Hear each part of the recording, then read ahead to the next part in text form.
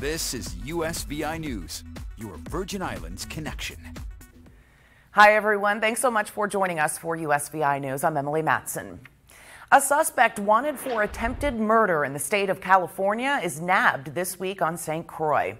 There has been an arrest warrant out for 30 year old Leslie Rogers since April, and on Tuesday, officers arrested him in Estate Diamond in Frederiksted without incident. He's charged with attempted murder and possession of a firearm by a felon.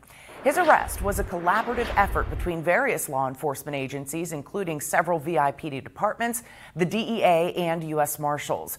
Rogers is now in prison on St. Croix and will eventually be extradited to Sacramento, California to face the charges against him. The Humane Society of St. Thomas is in quite the jam. It has far exceeded its shelter capacity to humanely care for homeless animals. As a result, it has stopped taking in surrendered animals. The shelter is intended to care for 40 dogs and 70 cats, but it's now caring for more than 150 dogs and 150 cats. They are in desperate need for people to adopt, giving needy animals a home for the holidays, or at least foster a pet for the time being. I caught up with the president of the Humane Society's board of directors to find out just how dire the situation is, how you can help, and to learn more about a benefit this weekend. We were built for to humanely home 70 cats and 40 dogs. And on any given day, we have almost 300. So you can imagine how difficult that is. And um, we never really wanted to get anything as drastic as closing the doors. But we figured that we got to try to be able to manage what we have in a humane manner. Our capacity to care is important. It's stressful not only to the animals, but to the staff. Um, you cannot take care, I mean, you cannot go beyond your capacity. And this is what we have been doing month after month after month. You know, trying to bring everything in is not always the answer. And we ask the community to try to foster them um, so that they don't have to end up in a crate at the shelter. And a lot of times they don't have to. Talk about that, how important it is to spay and neuter. It's, it's a real problem in that territory. Yes, because um, right now there's actually no excuse for not spaying and neuter your, your animal because we have free vouchers. Thanks to Kim Angels Fund Foundation, individual donors and government assistance, we're able to provide these vouchers free of charge. So people can make an appointment with the local veterinarian and um, take them in and get them done. Don't have any more litters because we cannot afford them. And most people cannot afford more, more pets. Let's talk about the holiday fundraiser on Sunday. Oh my God, that's really exciting. Um, we have, you know, the community always pitches in and, and helps us, which is so, so amazing. So how does this work? you get you go online, you go to Humane Society St. And you get a, a ticket. It's ten dollars and that gives you a chance at one of these wonderful uh, gifts and you know they're valued at 500 and a thousand and more for example we have a, a buccaneer hotel stay for $2000 worth so imagine if you're the winner of that one it's kind of like a fun way to raise money. And the nice thing about it is that it's going to be live on Facebook at 5.30 on Sunday. So if you have the time, come and join us because bring your kids, by the way, because we have wonderful candy apples and popcorn and, and baked goods. And for the adults, we have an open bar too. So they can have fun. And the ladies can do some shopping because we're going to have be open at our mobile um, thrift store. Most importantly, out of all this, you know, celebration for the holidays and picking out the raffle winners is that we really want you to go home with a pet. Maybe you already have two cats. Oh no, I cannot get one more. You know what? I always say that cats are like potato chips. You can never have just one. if they're so adorable. They don't take a lot of space. And, you know, most, most landlords should allow cats. I, really urge the people to consider it. And if they've never had an animal before, um, don't be afraid. Come and foster one because you may love it. you know, they're loving. They're, they're always there for you and they love you unconditionally. what else can we wish for? The message, I guess, is to spare and your pet and if you have questions about that, like I said, call me, call the shelter, We're always there, you know, to assist you. And we ask their help at this point. Uh, if they can foster an animal, please do. If you can adopt an animal, come out. We're close to intake, meaning that we don't want you to bring your pet to us right now if you no longer can take care of it. But we're going to be still open for um, adoptions, for emergencies.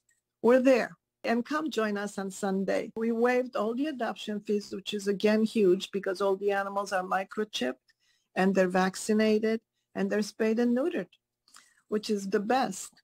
So yeah. you get a great pet and you have a family companion and you know you saved a life and you know that you'll have a great holiday. A lot of adorable dogs up for adoption that need a home for the holidays. And they are also asking for volunteers at the Humane Society of St. Thomas to spend an hour or however long walking a dog. Perhaps students who need community service hours can lend a hand. Again, the holiday benefit is this Sunday, December 11th from 3 to 6 at the Humane Society campus. It's a tree lighting event with Santa, treats for kids, and again, an open bar. And all adoption fees, again, are going to be waived. You still have time to pay $10 each for a chance to win a bunch of quality gift certificates. You can visit their website to do so. Despite fears of a global recession, the airline industry is expected to turn a profit in 2023 for the first time in four years. A forecast by the International Air Transport Association predicts airlines will earn a net profit of $4.7 billion. Net losses this year are expected to be 6.9 billion.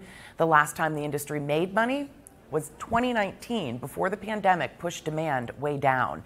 Demand, though, has since increased with the reopening of borders closed by the pandemic, and a strong U.S. dollar has encouraged more Americans to travel overseas.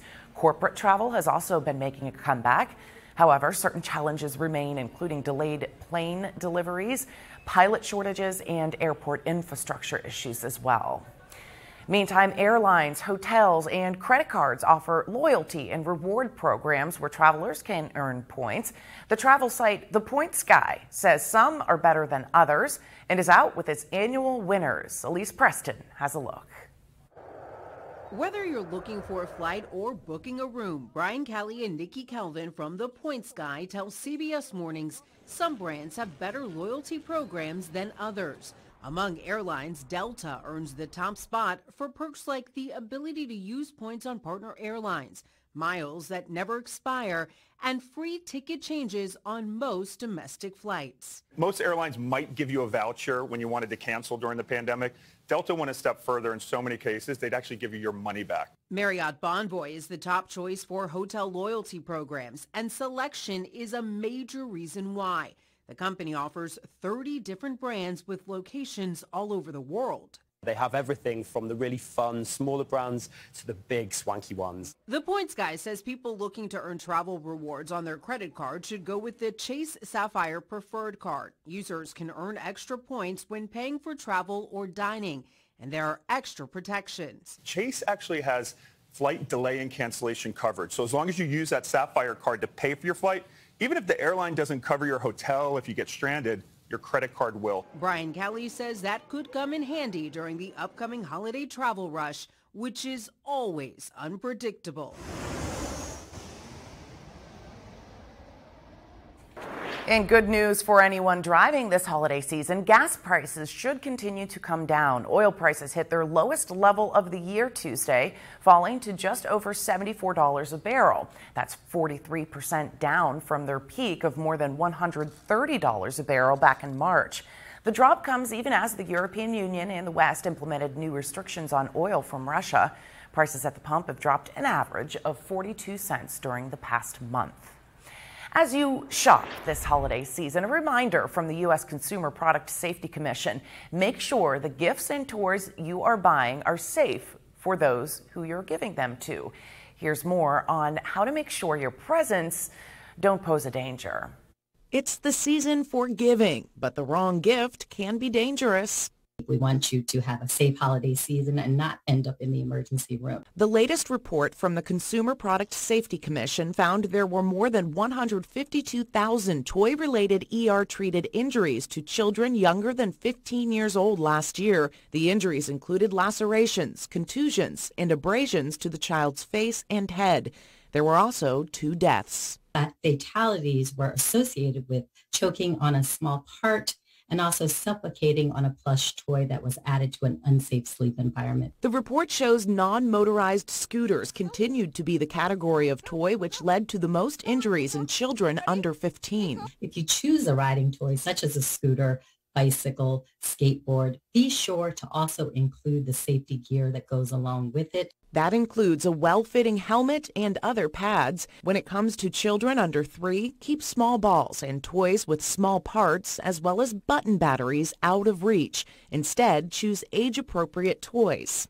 It's so important that you choose age-appropriate toys. The best way to do that is to look at the age labeling on the product packaging and use that as a guide. Once the gifts are open, also be sure to discard any plastic wrappings or packaging on toys so young children don't play with them.